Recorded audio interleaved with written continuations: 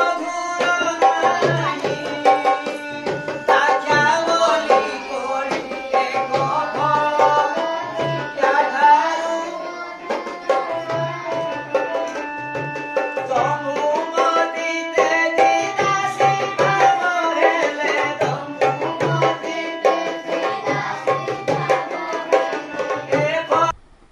ଦକ୍ଷିଣ ଓଡ଼ିଶାର ପ୍ରସିଦ୍ଧ ଲୋକନାଟକ ପାଇଁ ଜୋରସୋରରେ ଚାଲିଛି ଆଖଡ଼ା। ବର୍ତ୍ତମାନ ଆଧୁନିକ ଯୁଗ ସ୍ପର୍ଶ କରୁଥିବା ବେଳେ ଧୀରେ ଧୀରେ ପୁରାତନ ସଂସ୍କୃତି ପରମ୍ପରା ବିଲୁପ୍ତ ହେବାକୁ ଯାଉଛି।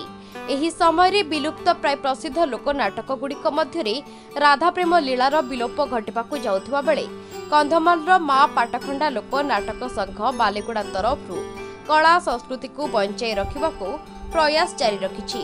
ଅନୁଷ୍ଠାନର ଶିଶୁ କଳାକାରମାନଙ୍କୁ ନେଇ କନ୍ଧମାଳରେ ପ୍ରଥମ ଥର ପାଇଁ ଏହି ସଂଘ ତରଫରୁ ନାଟକ ମଞ୍ଚସ୍ଥ ପାଇଁ ପ୍ରକ୍ରିୟା ଚାଲିଥିବାରୁ ବାଲିଗୁଡ଼ାବାସୀ ଖୁସି ପ୍ରକଟ କରିଛନ୍ତି।